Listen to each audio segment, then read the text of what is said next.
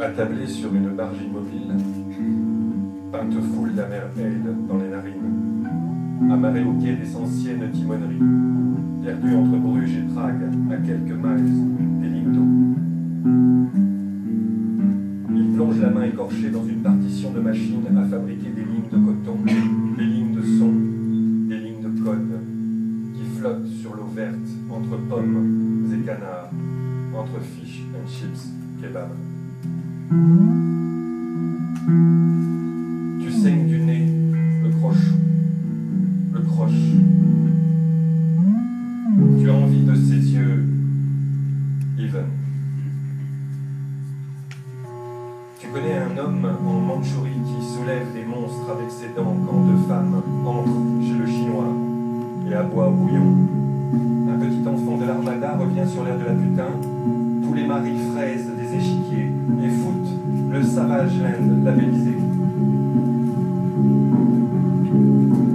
Tu vampirises à Manchester un homme nommé M, dont l'âme est dévorée par la peur de finir seul mais marié de deux Mongoliens.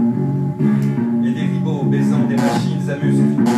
Duchesse en raffut, mêlée porcine aux accents de kindergarten. Puis, vu sur des méchants ladres, il lèche des blancs cuivres.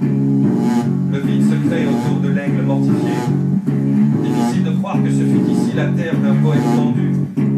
Quel retour de Oublier la, vie- la wifi, se connecter aux mémoires, mon plus bel amour, curer les canaux, respirer à grands cris, mon plus cher amour, ma scandaleuse,